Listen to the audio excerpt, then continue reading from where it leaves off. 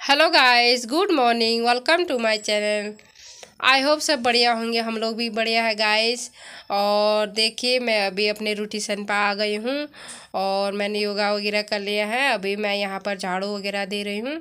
और देखिए, यहाँ ना अभी रास्ते में लाइट नहीं है तो मैंने अभी सामने लाइट जलाई है अपने इधर और रास्ते में लाइट नहीं है और मुझे बहुत डर लग रहा है और इसलिए मैं फटाफट झाड़ू मार के अभी अंदर घुस जाऊँगी. और लाइट ख़राब हुई है, दो दिन ख़राब होती, फिर ठीक होती है, पता नहीं क्यों ऐसा हो रहा है। और तो गाय अभी मैं झाड़ू तो गायस मेरा आधा झाड़ू हो गया है और यहाँ पे ना अभी गर्मी भी हो गई है और गर्मी में तो रोज़ धोना पड़ेगा, धोने से ना अच्छा ठंडा ठंडा रहता है।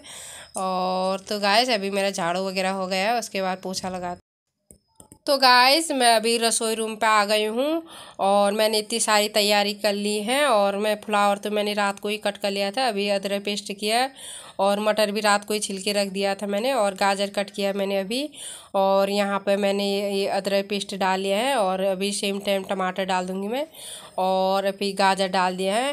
और मैं सब सब्ज़ी साथ में ही डालती हूँ, मैं अलग से उनको फ्राई नहीं करती हूँ। इस तरह सब कुछ डालने से ना बहुत अच्छी सब्ज़ी बनती है। और यहाँ पे ये ग्रीन वाला प्याज का मैंने पत्ते की सब्ज़ी बनाई थी और पीछे का रख दिया था मैंने और यहाँ पे धनिया कट करके रखा है। तो गाय यहाँ पे मेरी सब्ज़ी पक गई है और मैं अभी धनिया डाल लूँ ऊपर से। और अभी ना धनिया भी अच्छा नहीं आ रहा है और जल्दी येलो हो जा रहा है धनिया। ज़्यादा नहीं चल रहा है फ्रिज में, दो तीन दिन चलता था, वो भी नहीं चल रहा है। क्योंकि यहाँ पे ना बहुत ज़्यादा धूप लगते हैं, उसके कारण अभी धनिया दो तीन दिन भी नहीं चल पा रहा है। तो गाइस अभी मैं नारियल के पराठे बना रही हूँ और देखिए किस तरह मैं नारियल के पराठे बना रही हूँ। बहुत टेस्टी रहते हैं इस तरह बनाने से। और यहाँ पे ना मैं गुड़ की चाशनी बनाया है, उसमें मैंने ना पहले से नारियल खींच के रखा था मैंने फ्रिज में और अभी बना रही हूँ मैं। और नारियल डाल दिया इसको तो इसका ना अच्छे से थोड़ा मुरब्बा बना लेना है और इसको बस थोड़ा ही से गर्म कर कर लेना है, ज़्यादा इसको मतलब फ्राई नहीं करना नहीं तो ये चिक्की के जैसे सेट हो जाएगा। और देखिए, अभी मैं ना दही कड़ी बना रही हूँ और यहाँ पे मैं दही कड़ी ये इस तरह बना रही हूँ आज। सिंपल तरीके से और इस तरह की प्याज की दही कड़ी बनाने में बहुत टेस्टी रहती है। तो गाय मेरा तेल गर्म हो गया और मैंने यहाँ जीरा और राई और धनिया का तड़का दिया और करी पत्ता का भी दिया है। और करी पत्ता का तड़का ना और मेथी भी डाला है मैंने और बहुत टेस्टी रहता है करी पत्ता और मेथी का दही कड़ी में। और मैं हमेशा दही कड़ी में इसका तड़का लगाती हूँ। और देखिए, यहाँ पे मैंने अभी नमक डाला है और दोनों साथ में डाला मैंने प्याज भी और टमाटर भी। सब्ज़ी के जैसे दोनों साथ में डाला और देखिए, इस तरह मेरी सब्ज़ी बन भी गई है। और अभी मैंने ये छाछ बना लिया दही का, अभी मैं उसको डाल दूँगी इसमें और इसमें ना मैंने आटे का घोल भी बना लिया है और ये गिलास में ही जमाया है मैंने दही। और ये गिलास में, मैं ना हमेशा अलग अलग बर्तन में दही जमाती हूँ। तो गाय देखिए, और मेरे चावल बन गए हैं, और फ्लावर, मटर, गाजर, उसकी सब्ज़ी बन गई है। और मैंने ना यहाँ पे आज नारियल के पराठे बना रही हूँ मुरब्बा भी बना लिया है। और यहाँ पे देखिए मेरी दही कड़ी बन गई है, और देखिए कितना मस्त लग रहा है। ये देखिए, एकदम पतला पतला वाला बनाया है मैंने। और ये देखिए कलर भी इतना मस्त आया है। और तो गाय मैं अभी रोटी सेकती हूँ और पराठा भी बनाती हूँ। और तो गाय फिर मिलते हैं। तो गाय मेरा मुरब्बा बन गया है और मैं अभी पराठे स्टिफिंग भरी पराठे सेकती हूँ।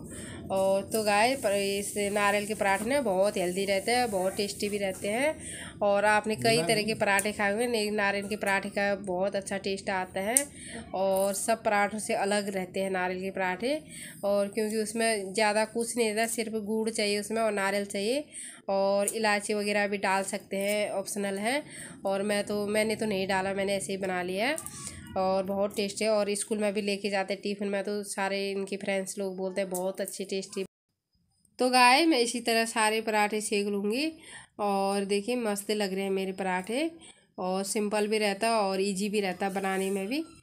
और देखिए, इस तरह फूल भी रहे, अच्छे फूल रहे मेरे पराठे। और इसमें मैंने थोड़ा मैदा भी डालना है, मैदे का आटा भी और गेहूँ का आटा भी मिक्स करके बना लेना है। इस तरह से बनाने से बहुत सॉफ्ट बनते हैं। और देखिए मैंने तो कैसे बनाया वो तो नहीं दिखाया नहीं, बस मैंने ऐसे देख क्योंकि सुबह सुबह बहुत हड़बड़ाहट ही रहती है और इसलिए मैं दिखा नहीं पाई। फिर नेक्स्ट टाइम कभी इस तरह बनाऊँगी तो फिर और दिखाऊँगी। और तो गाय मेरे पराठे अभी बन गए हैं और देखिए कितने मस्त बन रहे हैं। और गोवा में ना नारियल ज़्यादा चलता है, नारियल का ही ज़्यादा डिश बनता है गोवा में।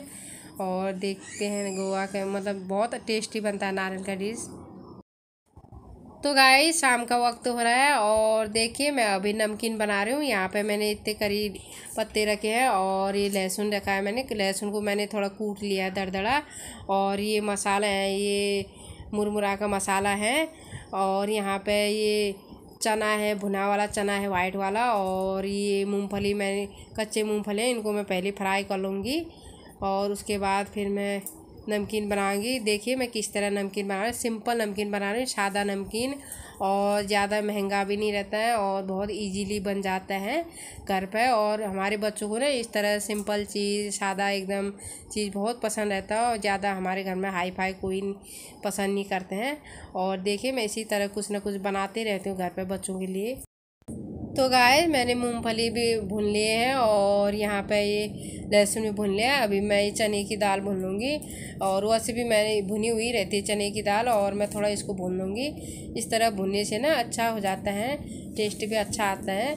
और अभी मैं ये भी भून लिया है। अभी मैं ना करी पत्ता भून लूँगी और करी पत्ता बहुत ज़्यादा भुनना नहीं है थोड़ा थोड़ा ही भुनना है।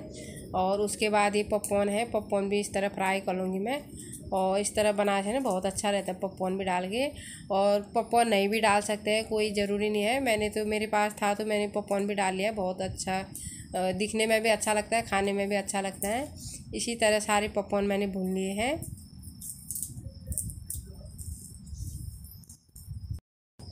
तो गाइस मैंने पपकॉर्न फ्राई कर लिया है। अभी मैं यहाँ पे ना, और ये मुरमुरा फ्राई कर लूँगी। यहाँ पे मैंने हल्दी डाल दिया है और लाल मिर्ची डाला है। और बाकी कुछ नहीं डालना इसमें और थोड़ा लाल मिर्ची, हल्दी ज़्यादा है और मुरमुरा को फ्राई कर लूँगी। इस तरह गरम करके डालने से ना और वो मसाला सब लग जाता है उस पर और कढ़ाई थोड़ी मेरी छोटी हो गई, मुरमुरा थोड़ा ज़्यादा हो गया है। और इससे बड़ी कढ़ाई नहीं है मेरे पास, बस यही लास्ट कढ़ाई है बड़ी वाली। और इस तरह मैं इसको फ्राई कर लूँगी अच्छे से। बहुत ज़्यादा नहीं करना और थोड़ा अच्छे से गर्म कर लेना है, बस उतना ही करना है। और देखिए अभी इस तरह से थोड़ा गर्म कर लूँगी मैं। इस तरह करने से ना बहुत अच्छे से मसाला लग जाता है उस पर तो गाइस मैंने यहाँ पे सारे नमकीन को फ्राई कर लिया है और देखिए मुरमुरा भी मेरे आधे कलर आधे वाइट आधे येलो दिख रहे हैं, ऐसे कलर जैसे लग रहे हैं। और अब मैं ना इनको दोनों में डिवाइड करके अच्छे से मिक्स कर लूँगी और थोड़ा थोड़ा करके, क्योंकि एक में ही बड़ा बर्तन नहीं है मेरे पास तो मैं इसे दो बार कर रही हूँ। और इस तरह से मिला लेना है और इसमें थोड़ा नमक और शक्कर पाउडर बना के इस पर थोड़ा डाल लेना है। और इस तरह शक्कर डालने से बहुत अच्छा लगता है, नमकीन और मीठा हो जाता है। ज़्यादा नहीं डालना है, बहुत कम डालना है। और ये अभी मैं डाली मुरमुरा मसाला है, ये स्पेशल मुरमुरा के लिए बना रहता है ये मसाला। और इस तरह इस तरह डालने से ना अच्छे से मिला लूँगी मैं। और करी पत्ता ना, जितना ज़्यादा इसमें करी पत्ता रहेगा और उतना अच्छा बनता है नमकीन। और नमकीन में ना करी पत्ता बहुत अच्छा लगता है। और मेरा बेटा तो ऐसे करी पत्ता भी खा लेता है वो, उसको पसंद है करी पत्ता। और सब्ज़ी में भी करी पत्ता डाल देना तो भी फेंकता नहीं है वो, और नमकीन के भी फेंकता नहीं है। खा लेता है करी पत्ता भी वो अच्छी तरह। और करी पत्ता ना, अच्छे भी रहते हैं, करी पत्ता खाने भी चाहिए। और तो गाय अभी मैं शक्कर डाली इस पर देखिए पहले बारे में मैंने दिखाया नहीं, अभी मैं दिखा रही हूँ शक्कर डाल देंगे और ये शक्कर पाउडर मेरे पहले से ही था, पिज़्ज़ा के लिए बना के रखा था मैंने वही बचा था, अभी मैं डाल रही हूँ। तो गाय देखिए मेरे नमकीन कितने मस्त लग रहे हैं और बहुत कम समय में बन जाते हैं और भाग, इस तरह घर में बनाने से ना बहुत अच्छा रहता है। घर में कुछ ना कुछ बनाते रहना चाहिए और जो इजीली बन जाए, जो चीज़ इस तरह की। और देखिए तो सामान तो सभी बाहर से लेके आए, फिर भी घर में क्या है, मसाला वगैरह, तेल वगैरह अपने हिसाब से डाल सकते हैं और बाहर कौन सा तेल में बनाते हैं कि कौन सा मसाला डालते हैं, ये पता नहीं रहता है। और कभी कभार तो चलता ही है और देखिए, मैं तो इस तरह कुछ ना कुछ घर में बनाती रहती हूँ। देखिए कितनी मस्त लग रहे हैं मेरे नमकीन। तो गाइस अभी वीडियो नहीं यहीं पे करती हूँ। आई होप आपको मेरे वीडियो पसंद आ रहे होंगे। मेरे वीडियो पसंद आए तो लाइक कीजिए कमेंट कीजिए, अपने दोस्तों के साथ ज़्यादा से ज़्यादा शेयर कीजिए। चैनल पर न्यू आए तो प्लीज़ गाइस सब्सक्राइब कर दीजिए। मैं मिलती हूँ नेक्स्ट वीडियो में। तब तक के लिए अपना ध्यान रखिए, अपनों का ध्यान रखिए। जय हिंद, जय भारत।